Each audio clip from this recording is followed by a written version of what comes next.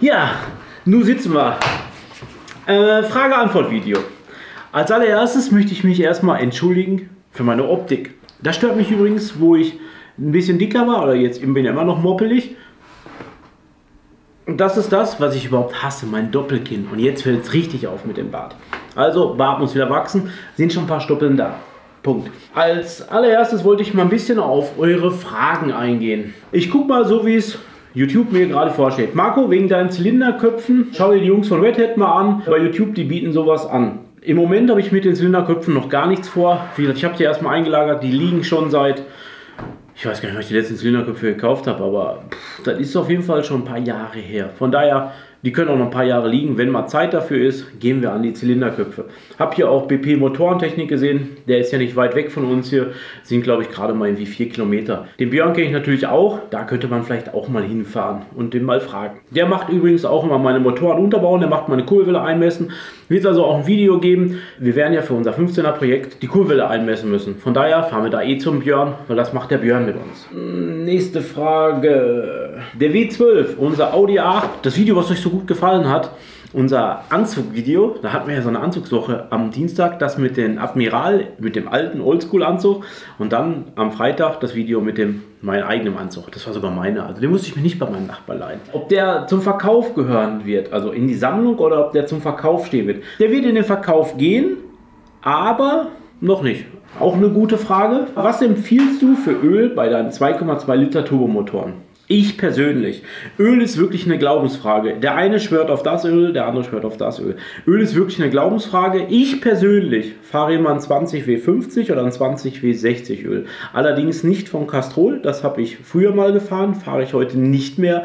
Bin ich seit 2008 nicht mit zufrieden gewesen. Ich habe ganz oft, das, wir haben es natürlich schon nicht mehr hier stehen, von Lukas gefahren das Öl oder jetzt halt von Motul das V300. Bin ich sehr mit zufrieden. Aber wie gesagt, Öl ist eine Sache, da können wir lange drüber reden. Ich habe damit die besten Erfahrungen, fahre sogar auch in meinen Standardautos wie ähm, im Smart bin ich gefahren und und und. Also das ist nicht nur für die 20 V Motoren, sondern ich fahre es eigentlich in allen Motoren. Selbst im 2 Liter TFSI fahre oder im 1.8T, überall kommt das Öl rein. Ich weiß, wenn es kalt ist, im Winter klingeln die ein bisschen lauter oder klappern die ein bisschen lauter, weil das Öl halt länger braucht, bis es in, von der Viskosität her nach oben kommt. Aber trotzdem fahre ich das Öl. Ich habe nämlich gute Erfahrung, deswegen Öl ist noch eine Glaubensfrage. Das muss jeder von euch selber rausfinden. Neue Projekte kommen und zwar der Pelle hat richtig geile Sachen in seiner Garage stehen. Der Pelle ist nämlich auch so ein leidenschaftlicher Sammler, genauso wie sein Vati. Die sammeln nämlich auch alte Autos und können auch nichts hergeben. Unter anderem, was ich weiß, was beim Pelle noch in der Garage steht, ist, das habe ich euch ja erzählt, ein 2.6er Mercedes, den er umbaut auf frei programmierbare Anlage, hat er soweit auch schon fertig und auf Turbo. Also 2,6 Liter rein, 6 Zylinder Turbo. Das Auto wird kommen, holen wir zu uns in die neue Halle, sobald alles steht gibt es Projekt drüber. Was der aber auch noch in seiner Garage hat, für die BMW-Freunde, ein E30.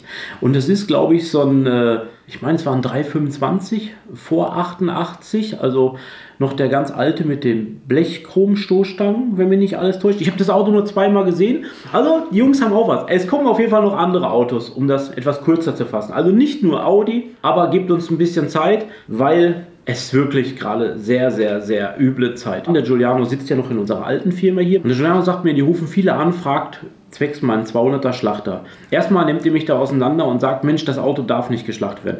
Wenn ich euch sage, der muss geschlachtet werden, dann, ey, glaubt mir, dann ist der wirklich kaputt. Der hatte mal so einen starken Seitenschaden, dass da alles Mögliche an Türspalte und Spaltmaße nicht mehr passen.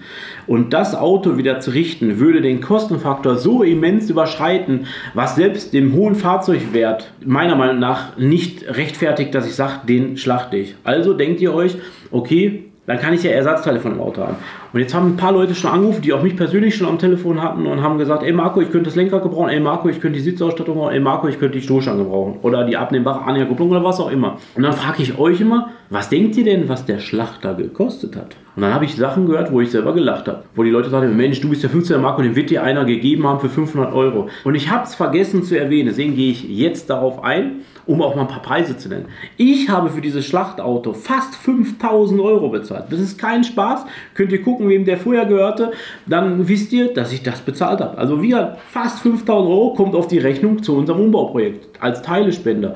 Und deswegen kann ich euch sagen, Auch ich bezahle und muss es auch teuer kaufen. Das zum Thema. Jetzt kann ich also zum Beispiel so ein Lenkrad nicht für, einer mir 40 Euro geboten oder 50 Euro. Da habe ich mir gedacht, hey Jungs, nimmt es mir übel, das lasse ich dann halt erstmal so, wie es ist. Also das Auto bleibt zusammen.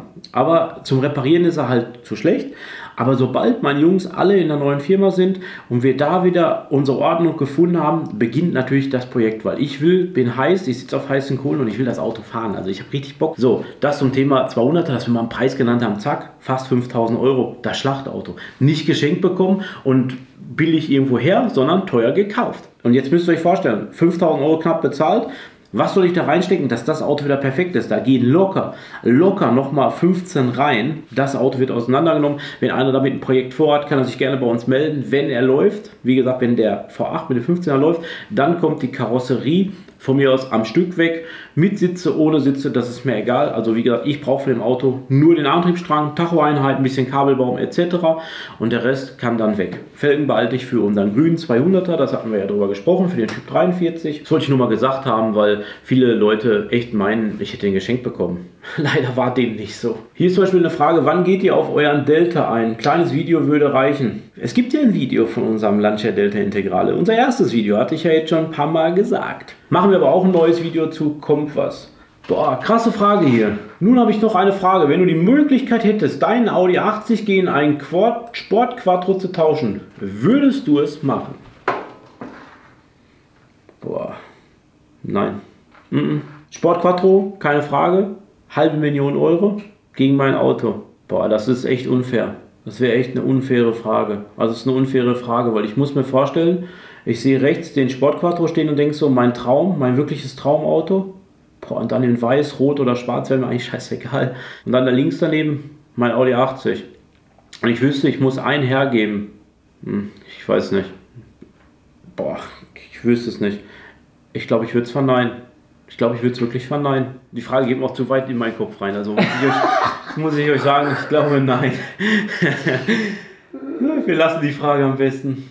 Hier sehe ich zum Beispiel eine Frage, die finde ich ganz lustig. Gibt es die Jacke, die ich also oft im Winter getragen mit den verschiedenen Firmenlogos bei dem Shop? Nee, das war mal so ein Versuch, den äh, Marcel und ich mal gemacht haben, wo alle so die Leute, mit denen wir zusammenarbeiten, einfach mal auf eine Jacke so drauf geballert haben, um zu testen. Das war vom Aufwand her relativ hoch, von daher würde der Preis für die Jacke sich nicht rechtfertigen. Also ich würde euch quasi eine Jacke zu teuer verkaufen. Daher haben wir gedacht, die machen wir für uns und unsere Leute, die damit rumrennen. Also das ist so ein Einzelstück, die quasi ich habe. Bin ich aber auch stolz drauf, weil ich finde, die Jacke sieht auch geil aus. Mich hat keine, ne? Nee. Ja, selbst der mich hat keine. Ganz viel lese ich natürlich über unser Polo-Projekt. Kommt auch die Tage was. Da hat der André mich nämlich zu angerufen. Der André hat für unseren Polo einen Plug-and-Play-Lader. Also das heißt, Abschrauben, den K14 übrigens, ich habe K16 im Video gesagt, das ist ein K14 von einem 1.6er Golf Turbo Diesel und dafür hat er ein Upgrade machen lassen, also sprich mit größerer Rumpfgruppe, aber das zeigen wir alles im Video. Also für den Polo Turbo wird so einer der nächsten Autos sein, wo wir wieder dran gehen werden. Unser G40, unser blauer 86C bleibt ja wie er ist, da machen wir nichts mehr dran, der ist ja soweit fertig. Unser silberner 1300er Turbo, da wird es demnächst dran gehen. Wo wir demnächst auch dran gehen zum Beispiel ist an unseren 1.8T Audi 80, der noch in der Halle steht. Da werden wir dann auch mal dran gehen und werden mal was mit anderen Düsen machen und wollen überhaupt mal eine, eine Leistungseingangsmessung machen, was der jetzt überhaupt an Leistung hat. Und wir nehmen euch bei dem Auto mit auf Probefahrt, wenn wir ihn programmieren. Also da nehmen wir euch dann auch mit. Hier ist wieder auch eine eigenartige Frage. Ich finde die Fragen immer alle, welches Gefühl hast du, lieber 15er Marco, im Begriff zu Audi 50? Audi 50 ist der Polo 1, also erste Serie Polo und Audi 50. War ich mir eigentlich sicher, dass diese Autos beide baugleich sind, also 100% baugleich sind, aber jetzt habe ich mit Mike darüber gesprochen, die Dachlinie wusste er jetzt anders. Also es gibt wohl ganz kleine Unterschiede. Als Spaßmobil, als 15er Turbo-Umbau noch zu bauen. Also auf Deutsch gesagt, wir wollen den Motor rausnehmen, den 50, 60 PS Motor und dann 15er Turbo. Wäre meiner Meinung nach ein Audi 50, gibt schon wahrscheinlich noch ganz, ganz wenige und so einen zu zerreißen und dann 15er Turbo einzubauen, mm -mm. wenn ich einen Audi 50 kriege oder hätte oder haben würde, würde der einfach bei uns im Museum chillen. Als Serienauto.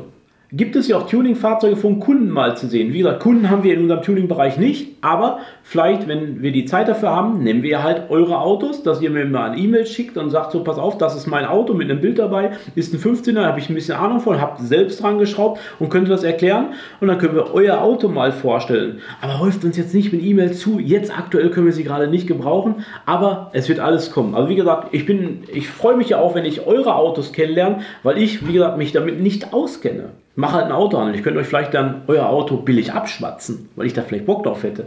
Aber euch das erklären könnte ich nicht. Ganz oft lese ich auch die Frage zum Thema Abnehmen. Aber das hatten wir auch schon, schneide ich kurz an. Jetzt im Moment bei der stressigen Phase kann ich sagen, habe ich 300 Kilo wieder drauf gefuttert, weil Körper keine Kraft. Also habe ich auch ordentlich gegessen. Wo, du, wo fährst du am liebsten in den Urlaub und was hältst du von internationalen Messen wie Goodwood, SEMA oder generell von Amis oder Japanern? Wo wärst du am liebsten im Urlaub? Ich bräuchte, glaube ich, mal vom körperlichen her und vom psychischen Kopf her mal psychischen Kopf her mal Urlaub. Aber jetzt im Moment ist ja nicht dran zu denken. Aber ich glaube, am meisten wäre für mich Urlaub mit Freunden zu verbringen und äh, hier bei uns in Deutschland einfach mal das zu machen, wo man gerade Bock drauf hat. Eine Runde Kart fahren, ordentlich was essen gehen, danach eine Runde Kart fahren, wenn man vorher gut gegessen hat. Ihr versteht, ich glaube, ich wisst, was ich meine gerade, weil ich weiß, wenn wir Kart fahren waren, waren wir vorher immer essen und dann hast du gedacht, in deinen eigenen Helm rein. Was? Bist du eigentlich schon mal Kart gefahren, nee, Micha? ich bin noch nicht Kart gefahren. Boah, das war die Challenge. Wir fahren auf jeden Fall Kart und das machen wir mal. Dann nehmen wir euch vielleicht mal mit. Das wäre eine coole Idee. Wir machen mal abends einen Ausflug für die Firma. Mittlerweile sind wir ja ein paar Mann, machen wir eine halbe Stunde hier in Dortmund Kart fahren. Frage, was würdest du Beruf, Marco, würdest du dich beruflich gerne was anderes machen, außer Autohändler? Gute Frage eigentlich. Nee, es müsste auf jeden Fall, mein Beruf muss mit Autos zu tun haben. Wenn man mich nach meinem Wunsch fragen würde, würde ich gerne halt nur Classic-Cars machen, also alles so Young und Oldtimer, also Autos bis maximal 20 Jahre, also alles älter als 20 Jahre. Das wäre so das, wo ich am liebsten mit handeln würde. So bis maximal 95er Autos. Das wäre so mein Traum. Dass ich sagen würde, ich will nur mit Klassikautos handeln oder Youngtimern. Aber das geht halt nicht, weil somit kann man ja sein Geld nicht verdienen und erstmal bekommt man die Autos nicht immer. Und wie gesagt, ein Autohandel, wie er es schon sagt, ich muss ja damit mein Geld verdienen. Ich will den ja nicht irgendein billig abluchsen und anschließend den nächsten teuer verkaufen, obwohl das ja der Autohändlerberuf ist. Daher würde ich auf jeden Fall in dem Beruf bleiben wollen. Aber das Einzige, was mich in dem Beruf wirklich stört, ist, wenn man ein Auto günstig kauft bei uns für, ich sag mal, unter deutlich unter 5000 Euro, dann haben die Autos ja alle immer bei uns zwei Jahre TÜV, haben eine Garantie dabei. Das macht ja kaum noch ein Autohändler. Und wenn dann die Leute mal ein Problem damit haben und wir das reparieren, wir geben einen Werkstattersatzwagen mit, wir reparieren elektronische Bauteile, die nicht in einer Garantie immer enthalten sind, zum Beispiel ein Steuergerät kaputt, haben wir schon ein paar Mal jetzt gehabt. Wir reparieren es dann, berechnen es nicht mal, bringen das Auto dann weg und die haben von uns einen Leihwagen und dann wird angerufen nach einer Woche, ja, wieso ist mein Auto noch nicht fertig und wieso dauert das überhaupt alles so lange? Und dann müsst ihr euch vorstellen, das zieht mich richtig runter, weil was soll ich noch mehr machen? Ich repariere schon, wir machen das schon heile und wir können ja auch nicht vorher gucken, ein Steuergerät geht kaputt oder geht nicht kaputt. Da machen wir das heile, berechnen dem Kunden dann teilweise, wenn überhaupt, wenn überhaupt nur die Reparatur des Steuergeräts, den Einbau nicht, die Fehlersuche nicht, den Leihwagen nicht und dann wird noch gemeckert. Und das zieht mich auf jeden Fall runter, wo ich sage, ich nochmal ein Auto verkaufen, auf keinen Fall. Genauso was mich dann halt auch immer ärgert, wenn man sich was anguckt, man kriegt was am Telefon beschrieben und das ist nicht so vom Zustand, wenn man etwas Billiges kauft, erwarte ich keinen Neuwagen. Aber wenn man mir sagt, Auto läuft, Schilder dran machen, nach Hause fahren, geht. Dann sage ich, okay, geil. Aber wenn du dann irgendwo hinkommst und man wird einem gesagt, du kannst rote Nummer bringen, das Auto fährt. Er springt nicht an, weil nicht mal eine Batterie drin ist. Oder wenn er dann anspringt, geht er aus, weil kein Diesel drin ist. Und dann füllt man Diesel auf und es fährt immer noch nicht. Und man fährt 250 Kilometer für umsonst und denkt sich so, warum sagt man nicht am Telefon, hey, pass auf, das Auto steht seit zwei Jahren hier, keine Ahnung, bring den Akkupack mit, bring dir mal eine Batterie mit, bring dir eine kleine Werkzeugkiste, eine Latzhose mit und dann kannst du hier mal schrauben, dann springt das Ding vielleicht irgendwann an, eventuell kannst du es fahren. Ich schlage aber vor, bring dir direkt einen Anhänger mit.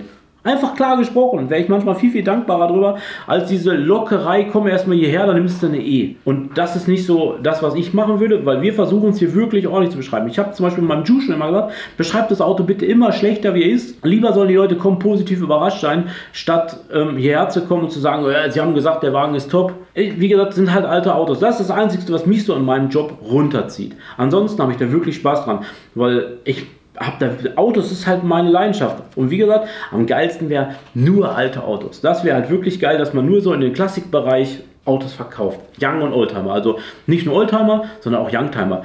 Deswegen, das wäre so ein Traum. Kann man sich nicht immer erfüllen, aber das wäre, dann würde mein Job mir noch mehr Spaß machen. Und jeder, der ein Auto kauft und dann mal vielleicht damit ärgert und wird trotzdem bei uns geholfen, einmal kurz nachdenkt und sagt, okay, er will uns ja helfen. Wenn er da kurz drüber nachdenkt, bevor er losmeckert, ich kann das verstehen, dass ihr sauer seid, wenn ihr bei uns ein Auto kauft und nach fünf Monaten ist die Batterie leer. Ich stehe beim Einkaufen, kriege mein Auto nicht aufgedrückt, weil ich vielleicht das Handschuhfach aufgelassen habe oder das Licht angelassen habe. Ich stehe im Regen, mein Auto geht nicht auf und springt nicht an und ich stehe im Regen, dann rufen die an und meckern mich an. Aber ich kann da nichts für. Das wäre das Einzige, wenn die Menschen, bevor sie losmeckern, einmal kurz nachdenken. Und dann, er wird uns ja eh helfen. Das wäre geil. Wäre eine geile Sache. So, Jetzt haben wir genug erzählt. Und wisst ihr, was ich jetzt mache? Wir haben jetzt so viele Fragen beantwortet. Was ich jetzt machen möchte, eine Frage war, wie war dein beruflicher Werdegang? Und dafür habe ich was mitgebracht. Und zwar meine Mappe Zeugnisse, Gesellenbrief, Bundeswehr, Verdienstabrechnung. Ich habe die Zeugnisse eigentlich gesucht vom, äh, von der Schule, weil, wie ihr merkt, lasse ich mich unheimlich schnell ablenken. Ich sehe was, rede, erzähle euch was und sehe im Augenwinkel, Beste Beispiel war mit Software bei ihr im Auto und ich sehe die Kamera und sage Software an der Kamera machen.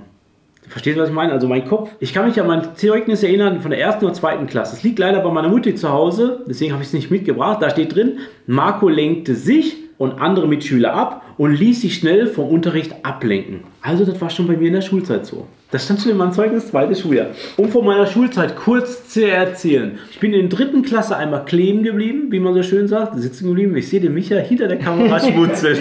ich sehe ihn richtig. In der dritten? Ja, in der dritten bin ich. Wie geht das denn?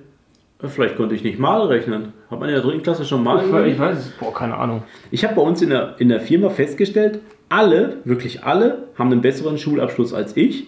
Alle sind gebildet. Der eine hat Abitur, der andere hat Fachabitur, der andere studiert. Wir haben ja hier alles. Zwei Meister haben wir bei uns. Ich bin nur der Geselle. Ich bin hier auf jeden Fall der Dümmste, haben sie sogar gesagt. Der Dümmste bin ich nicht, der schlecht gebildetste. So, wie gesagt, dritte Klasse kleben geblieben. Ich war auf einer Gesamtschule in Dortmund bis zur Klasse 9, also ich habe die Klasse 9 dann auch durchgezogen und habe dann so gemerkt, dass ich zu der Zeit äh, schon so in meinem Mofa-Feeling war. Ich bin also zu der Zeit schon mit meinem Mofa zur Schule gefahren. Da war ich schon so Motoren begeistert und Zweitakter und ähm, ah, ich könnte so weit vom Thema abschweifen, das wäre so krass. 5 Markstück auf dem Kolben hat Papa gesagt mal, das wird mehr Leistung bringen. Äh, zu viel jetzt auf jeden Fall. Das reicht schon. Viele Leute haben schon verstanden, was man versucht hat.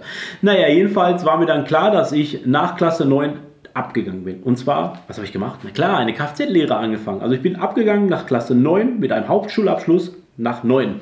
Hier ist mein Gesellenbrief. Michael, sieht man ihn? Mhm. Sehr gut.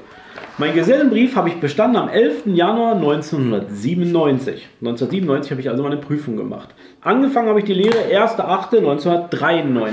Und meine Lehre habe ich angefangen bei Autohaus Hirsch hier in Dortmund. Das war ein VW-Audi-Händler. Und dazu habe ich jede Verdienstabrechnung. Und ich habe auch meine erste Verdienstabrechnung. Zwar vom 1.8. bis zum 31.8.1993. Auszubildende Vergütung. So, brutto gab es 710 Mark. Das heißt, Netto-Auszahlungsbetrag auf meinem Konto ging das erste Mal ein 494 Mark und 25 Pfennig. Und ich weiß, die Älteren, noch Älteren von uns jetzt, die zuschauen, die können sogar sagen, die haben in der Lehre nur 300 Mark verdient. Was ich vielleicht negativ dazu sagen muss, wenn ich überlege, was ich bei VW gelernt habe, Handlampe halten, Werkstatt fegen, freitags Gebrauchtwagen waschen, Unkraut zupfen konnte ich auch ganz gut. Und eigentlich bin ich mit meinen Schrauben weil ich selber interessiert war und den Zugang gar nicht bekommen habe bei meiner Lehre. Das ist zum Beispiel, was mich halt damals gestört hat.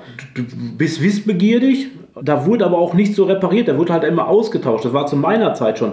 Wo ich die Lehre angefangen habe, wie gesagt 1993 war der Golf 3 ein ganz aktuelles Auto. Da kam gerade der Golf 3 VR6 raus, werde ich nie vergessen. Auf jeden Fall habe ich da beim Schrauben nicht viel gelernt, sondern man hat sich das selber beigebracht. Ich habe damals zu der Zeit halt ein Polo gehabt und habe da halt viel selber rangeschraubt und halt versucht. Wo ich ein bisschen was gelernt habe, dann in meiner, ich hatte dann ein Jahr Karosseriezeit in der Firma bei VW, da habe ich viel gelernt. Also da waren Sachen interessant bei, hat mir auch Spaß gemacht, Karosseriearbeiten. Naja, 97 habe ich dann meine Prüfung bestanden. Praktische Prüfung, Prüfungsstücke befriedigend. Arbeitsproben befriedigend, Ergebnis der praktischen Prüfung befriedigend. Das ist schon mal nicht schlecht, ne? Mhm. So, jetzt kommt schriftliche Prüfung.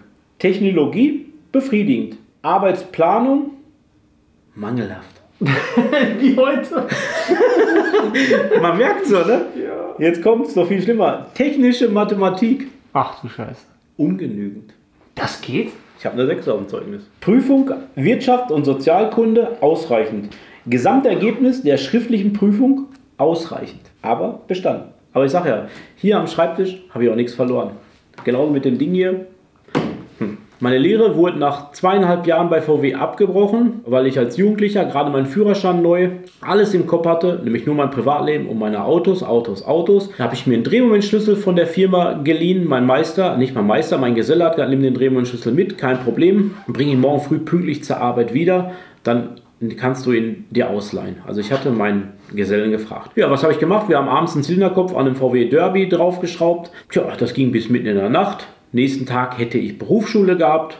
War mir nicht ganz so wichtig, war das Schlafen wichtiger. Sprich, der Werkzeugschlüssel lag in meinem Auto. Ich habe ihn nicht zur Arbeit gebracht. Ein Riesentheater. Der Geselle hat einen Riesen auf den Kopf gekriegt. Ich musste bei meinem Chef antreten. Da war ich eh nicht so gern gesehen, weil Berufsschule wie ihr auch am Zeugnis sehr erkennen, schwer, unschwer erkennen konntet, ich nicht der Beste war in der Berufsschule, auch nicht so die meisten Tage vorhanden war, gab es dann meine Kündigung. Meine Mama hat mir damals meinen Arsch gerettet, hat mich bei Toyota reingebracht. Ich habe dann also das letzte Lehrjahr bei Toyota durchziehen können und da muss ich euch sagen, habe ich viel gelernt. Da haben die mich auch schrauben lassen, ich durfte Bremsen machen, ich durfte wirklich bei Zuschauen bei Motoren und wie Motoren instand gesetzt wurden. Richtig geile Lehrzeit, also das letzte Lehrjahr bei, bei Toyota war wirklich geil. Habe es da dann auch wirklich gerockt, hat Spaß gemacht.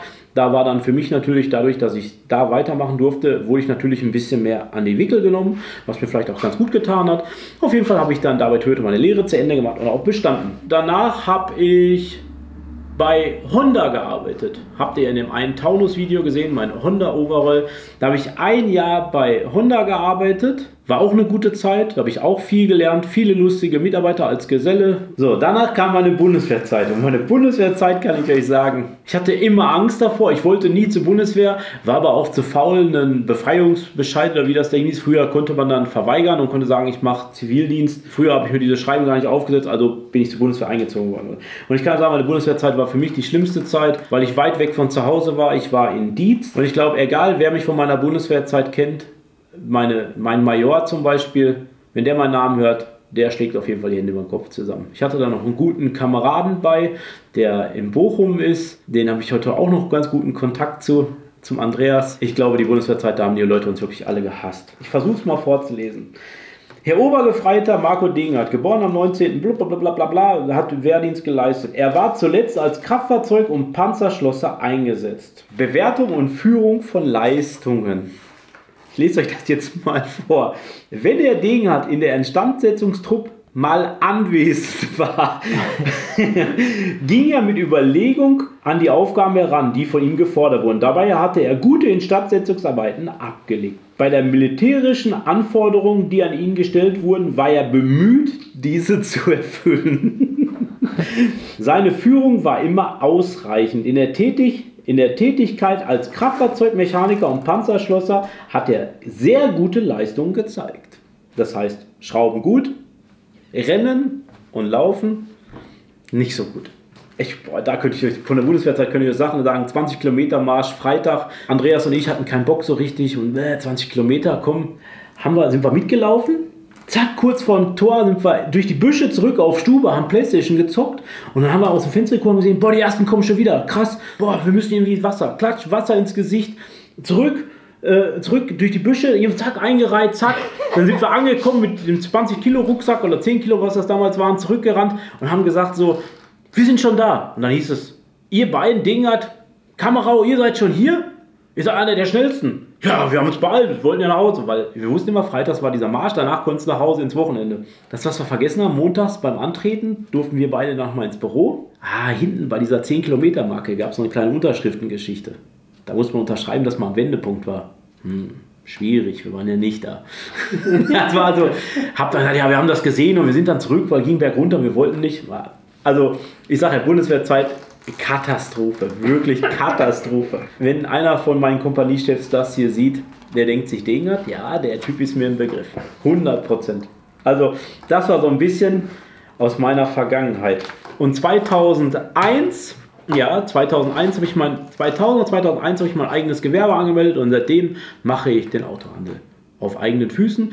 2003 habe ich das mit einem Geschäftspartner zusammen gemacht, also mit, mit einem Freund und Geschäftspartner bis 2017 und seit 2017 mache ich es wieder ganz alleine. Ich würde die Zeit nicht missen wollen. Es war alles, was ich so gelernt habe in der Zeit von der Bundes also von der Lehre an, über die Bundeswehrzeit an, über das Selbstständigkeit über das Selbstständigsein mit einem Geschäftspartner, war alles cool. Also ich würde die Zeit nicht vermissen oder nicht zurückdrehen und etwas anders machen. Genauso wie es jetzt bis jetzt gelaufen ist, hat es mir wirklich gefallen. Für mich das Wichtigste war, ich muss gerne morgens zur Arbeit gehen und das war immer so und es war wirklich immer so. Und jetzt im Moment ist es auch so, halt nur sehr stressig. Ich freue mich aber drauf, wenn wir drüben alles fertig haben und dann geht es richtig los, Micha. Da freue ich mich drauf. Und übrigens, das war unser letztes Frage-Antwort-Video in unserem alten Büro. Ich wünsche euch noch einen schönen restlichen Dienstag. Wir fahren jetzt nämlich wieder arbeiten. Ich muss mich wieder umziehen, meine guten Sachen ausziehen, Arbeitszeug anziehen und ran an die Schippe. Und den Micha nehmen wir jetzt auch mal wieder ran an die Schippe. Also, ciao. Ey, Hallo Benz hat immer so gemacht.